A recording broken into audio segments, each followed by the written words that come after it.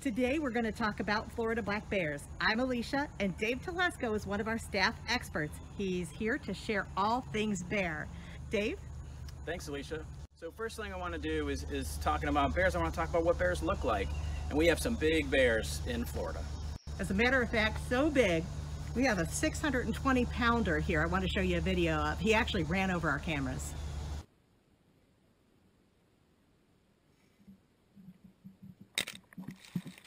So uh, while we saw that really big male, most bears in Florida are actually a lot smaller. So I got a pelt here from a bear that was hit by a car and we were able to recover the pelt.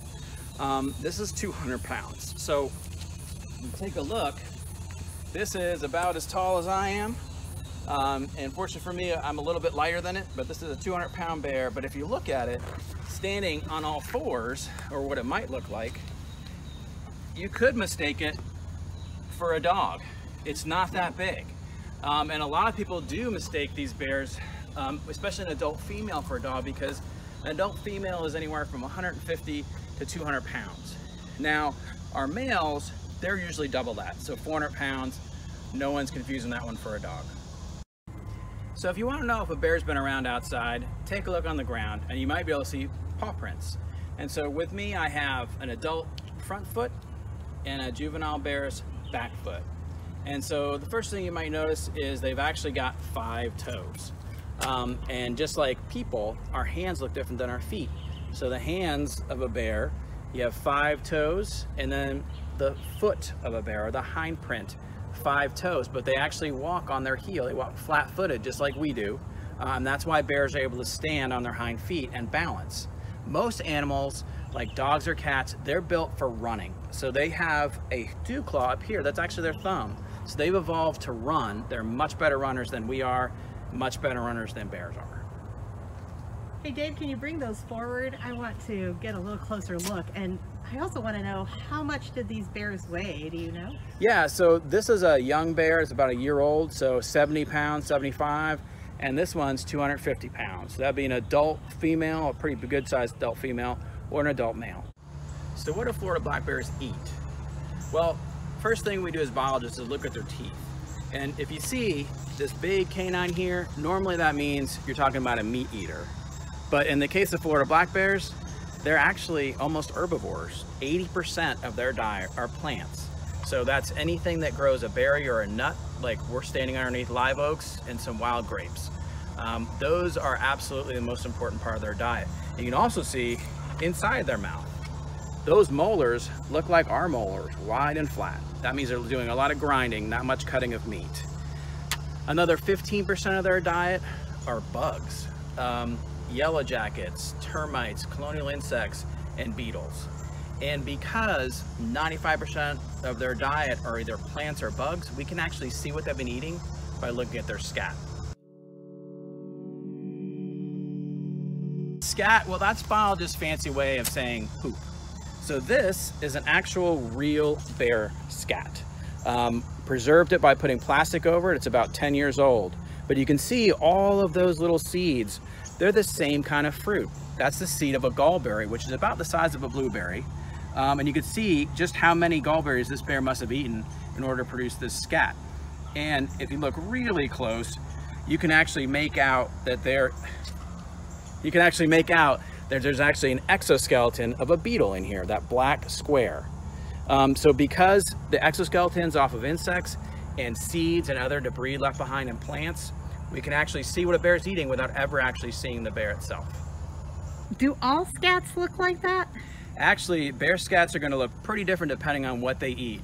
We've got a shot here of five different scats and depending on what they're eating, looks pretty different. But anything this size or bigger, it's gonna be a black bear a lot smaller than this, probably raccoon, because they eat a lot of the same things. Now, bears eat plants and insects, but they also eat some meat. And so 5% of their diet is animal. And that could be opossums, armadillos, they'll also eat chickens, um, anything that's really easy for them to catch and eat. We like to use the word attractants, um, and basically what that means is anything that's gonna bring a bear in. So something that attracts the bear to the neighborhood. Um, in the case of bears, they really don't like people, but they love what we leave behind. and if you think about that, when we put stuff in the garbage, it's garbage. That's not food anymore. But those pizza crusts or the old fruit in the back of the fridge, or maybe the stale potato chips, that's a calorie gold mine for bears because to knock over a few garbage cans in a half hour, it would probably take them, I don't know, half a day just to see how many acorns they can eat.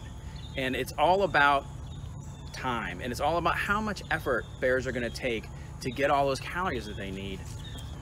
So if it's really easy to get a lot of calories from garbage cans, it sort of makes sense why of the 6,000 calls we get every year, a full third of them are specifically reporting bears getting the garbage. And that's because garbage has a pretty good scent and bears can smell things over a mile away. So when they bring into the neighborhood because of the garbage, uh, there's a lot of things we can do. There's actually a lot of options to secure the garbage. Um, the first option is free. Keep the garbage secure in either your garage or a sturdy shed until the morning of pickup. And that way, the bear does not have all night to be thinking about whether they're brave enough to break into the garbage, just that morning before pickup. Another option is to actually put metal gate hasps on the regular trash can that you have. And we actually have a video that shows you how to do that. So here's an example of a bear resistant trash can that's been commercially made and designed specifically to keep bears out. Now, uh, in order to sell it as a bear resistant trash can, they actually have to test it at a facility that has captive grizzly bears that are experts at breaking into things. And I talk about grizzly bears, those are brown bears. Those are very different than our black bears here in Florida. They can be much larger and definitely a lot more aggressive. So looking at this can, um, it's got a lot of features that are similar to the other cans. Uh, we have another trash can demo that goes through three other types. Uh, but what you're gonna see is reinforcements all the way around. Um, also, there's really no place for a bear to get his tooth or claw in to be able to use their strength to crank this open. Um, the other feature that's gonna be similar to all these is they have specific latches that when you push on them, we can open them, but a bear can't. Um, and then we, we call this automatically locking because when we drop it, it locks. I don't, there's no extra step for me to get this to lock in place. And so that's how we have a commercially bear resistant trash can. Did we ever try it out on Florida black bears? Like give them a garbage can and have them try to break in? Yeah, actually we did. Uh, we went across the state a couple years ago uh, six different zoos and all the bears had their chance to get into some of these cans. And it's funny, some of them were real interested and tried. Other ones were sort of puzzled as far as what they were supposed to do. But in general, we feel pretty good about these cans and they keep bears out. What kind of stuff did you put in the garbage cans? We put peanut butter, grape jelly, fish, dog food, anything that was really specifically interesting to those bears. Um, and typically what they would do is smell it and then they would try to get into it. Now there's other items besides garbage that'll bring a bear into the neighborhood. Uh, they really like the seeds off of a bird feeder. And so things you can do there is you can pull it in at night, um, only out enough seed that the birds are gonna eat all, all of it up for that one day, or you can hang it 10 feet high, four feet from any attachment point. The other thing they'll eat is dog or cat food. And the thing with that is if you're gonna feed your pets outside, feed them and bring that in. And also bring the bowl in because that scent still carries even there's no food in it. Um, and then of course that greasy stuff that's left on our grill, definitely want to clean the grills after use. If you can put them in a shed or a garage, that's a good idea too. And finally, fruit or nut trees. Um, and that's usually seasonal. So if you have some, some uh, nuts dropping, maybe you can rake those up. Or even if you wanted to, you can put electric fencing if you have, say, blueberry bushes uh, that are producing a lot of fruit.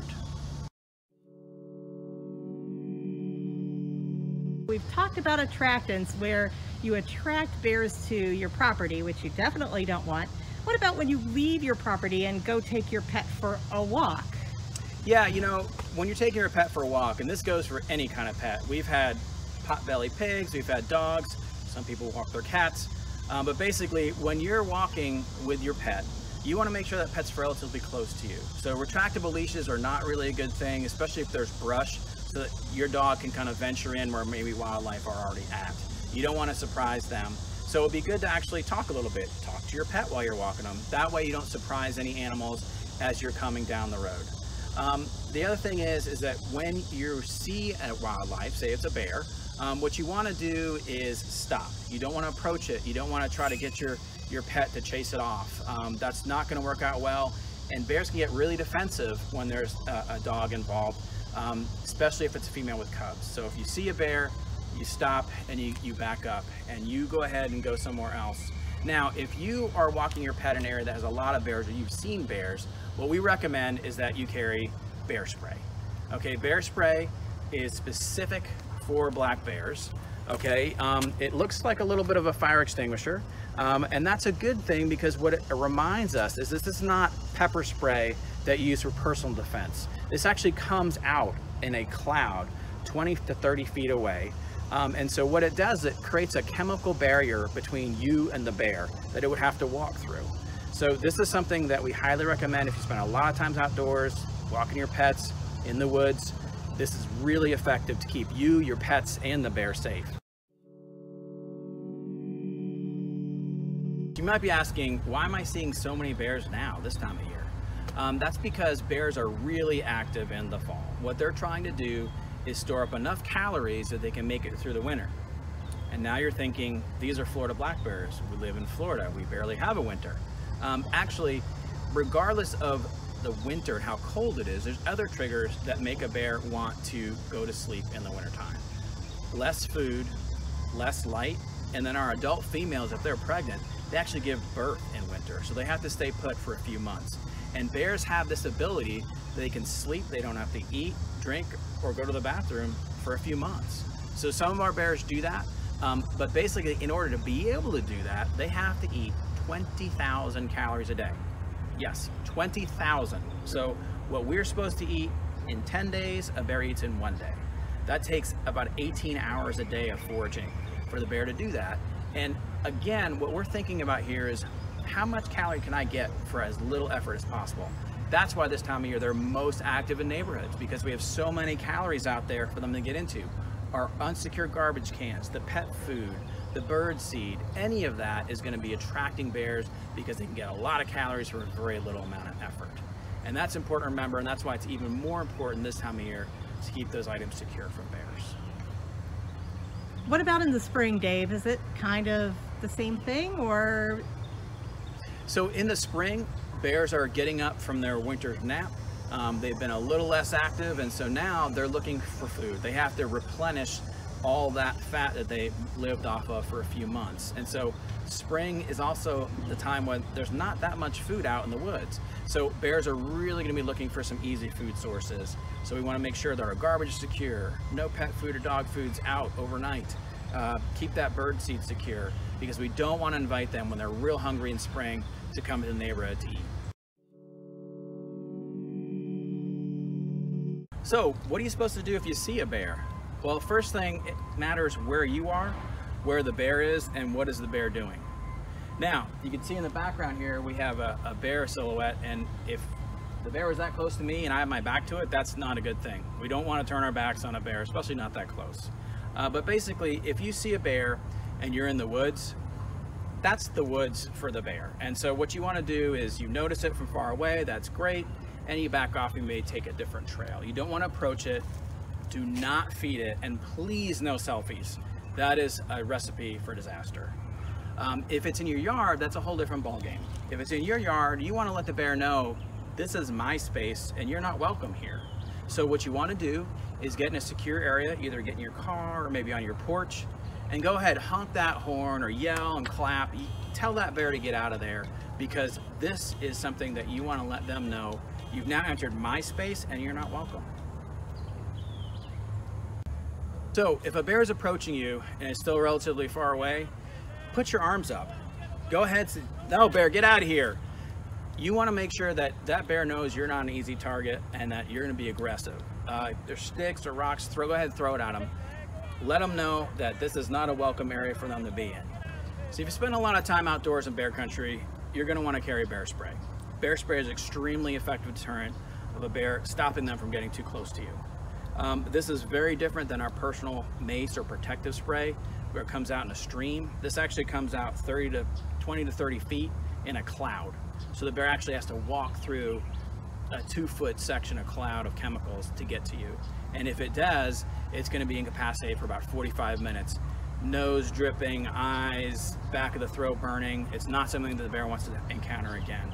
Very effective. And so um, typically they come out in a nine ounce spray And what you want to keep in mind is nine ounces, probably about nine seconds of spray. But what you don't want to do is spray all nine seconds the first go. You don't know if that's gonna reach the bear, you don't know if the wind's gonna push it away. So you wanna do a two second burst, three second burst, and then see how it works and do it again. And so, but again, keep in mind, this is for if a bear's approaching you and you cannot scare it off. So I'm gonna show you what that looks like and how to use it. All right, so first things first, as a safety, you take the safety off, and here's your spray. So here's the bear. Get out of here, bear! All right, that doesn't seem to work. So you aim low and a three second burst. And you can see that cloud basically covers the bear. Um, that bear would have to come through that cloud to get to me. But if, it, if I don't feel like it was comfortable, I want to spray again, go and spray low. And you see that cloud rises up. So if you spray low, that's another three seconds, and then, and there it goes. So important thing to remember for bear spray is that it actually comes out 70 miles per hour. So even if a little bit drifts back, most of that spray is gonna go out. Now, if it's a really windy day, yes, you probably wanna get upwind and make sure you're aware. But the effects of uh, bear spray is the same thing as, you know, personal protection spray. You're gonna rinse your eyes, uh, rinse your mouth, um, but a full blast of this will incapacitate a bear or anything else for about 45 minutes. We get over 6,000 calls a year typically about bears. And it's important because we want to know what's going on and how to help. Unfortunately, we know thousands of other people are experiencing conflicts but don't know to call us. And if you call us early in the process, we have a lot of options to help reduce the conflict and reduce the safety threat. Um, but the issue is that you have to let us know. We don't know what's happening unless you call us. Uh, we're not able to monitor Nextdoor or other social media um, to figure out what everyone's talking in the community about. So if you call us, let us know, and then you can be the bear ambassador for that group. You can let them know, hey, I talked to FWC, they said we can do this about it. Um, and that's really important because working together, we can reduce these conflicts. If you need more information about Florida black bears, find us online. All you have to do is go and search My FWC Bear, and videos will pop up, anything you need for reports just find us there. You can also follow us on Facebook, Instagram, Snapchat, and a whole bunch of other social media sites. Well, thanks for joining us today, and I hope we're able to help you learn a little bit more about the Florida black bear.